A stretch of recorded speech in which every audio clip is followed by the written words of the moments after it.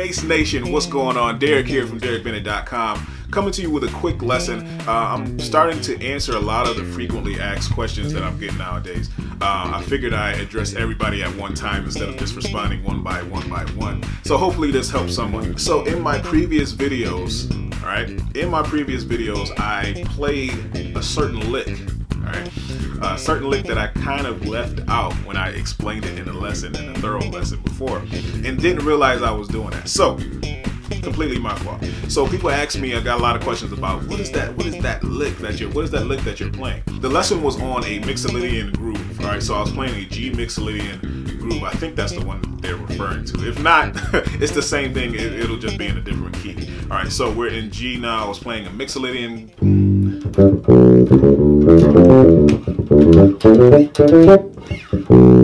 Yeah, that was it.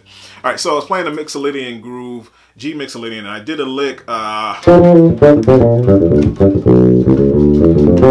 All right, so I never explained that. I completely forgot to explain that lick.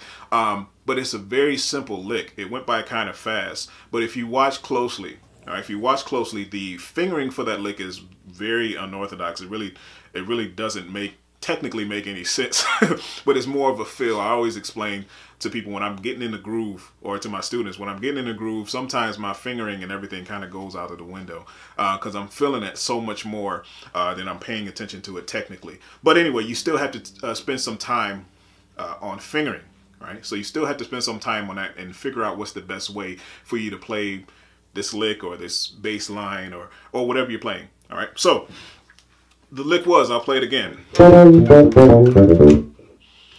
That was it. All right, so it's a different fingering. If when I show you, you're going to be like, okay, that that's all it was.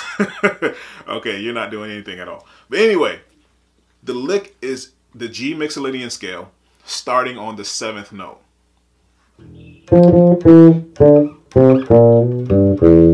All right, so in the and then the end, I have kind of this you know turnaround thing, but in the beginning. All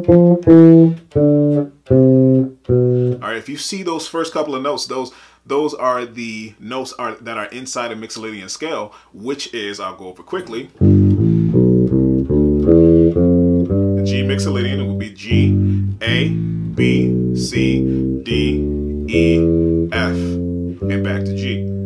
To get full access to the rest of this lesson, you want to head over to DaricBennett.com if you're not already there, to start your free trial today. All right, you won't regret it. We got new advanced lessons coming up every single week for our members.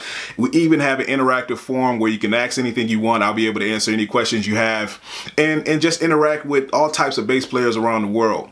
All right, so go start your free trial. Until next time,